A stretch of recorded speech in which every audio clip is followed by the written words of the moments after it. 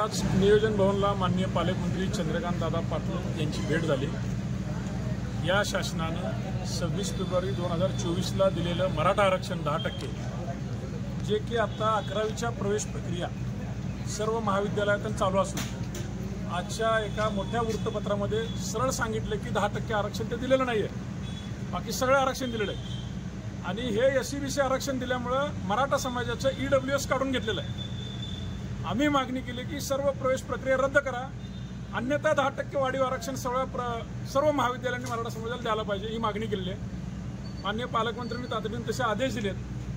आम्ही त्यांना सांगितलं की जर प्रवेश प्रक्रियेमध्ये आम्हाला न्याय नाही मिळाला तर आम्ही योग्य ते आंदोलन करून योग्य ते प्रत्युत्तर शासनाला दिल्याशिवाय आम्ही शांत बसणार नाही. हे तात्काळ त्यांनी मागणी मान्य करून संबंधित विभागाच्या सचिवाला त्यांनी तात्काळ आदेश दिलेत. सर्व महाविद्यालयाची तातडीने मिटिंग घेऊन दहा टक्के मराठा आरक्षण ज्या ज्या महाविद्यालयाने दिलेलं आहे त्यांच्यावर एकतर कारवाई करावी नाहीतर त्यांनी वाढीव दहा टक्के आरक्षण द्यावं असे त्यांनी आदेश दिलेले आहेत. आता बघूया या आंदोलनाची त्यांनी किती म्हणजे या निवेदनाची दखल घेतात. दुसरं महत्त्वाचं म्हणजे सोलापूर जिल्ह्यामध्ये आजच बार्शी येथील प्रसाद देटे नावाच्या युवकानं आत्मबलिदान दिलेलं आहे. आम्ही मागणी केली आहे की मराठा समाज आणि ओबीसी बांधवांमध्ये जे समाजकंड गैरसमज पसरत आहेत त्यांचा शासनाने तातडीने बंदोबस्त करावा. जे बांधव वर्षानुवर्षे पिढ्यानपिढ्या आमच्यासोबत आहेत. पण हा वाद त्या बार्शीतल्या माझ्या बांधवाला बघू वाटला नाही. त्यानं काल आज पहाटं स्वतः आत्मबलिदान दिलेलं आहे.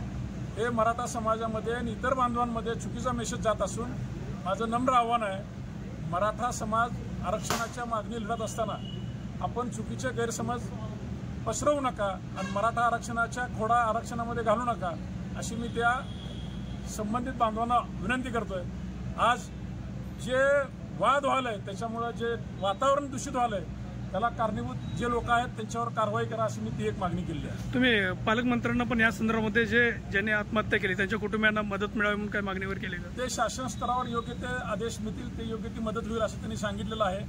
आणि दुसरं महत्त्वाचं म्हणजे त्यांना आठवण करून दिली की मुलींना के जी टू पी जीपर्यंत आणि व्यवसाय व्यावसायिक शिक्षण जेवढे आहेत मग ते इंजिनिअरिंग असू द्या मेडिकल कॉलेजचे असू द्या तर त्यांनी असं सांगितलं की त्याचा निर्णय होणार आहे. पण आत्ता पदवीधर आणि शिक्षकची आचारसंहिता आहे.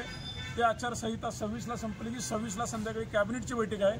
आणि त्या बैठकीमध्ये तो निर्णय घेऊन मुलींना जो आम्ही शब्द दिलेला आहे महाराष्ट्रातल्या सर्व मुलींना मोफत शिक्षणाचा निर्णय ही आचारसंहिता संपल्यानंतर होईल असं त्यांनी आश्वासन दिलेलं आहे.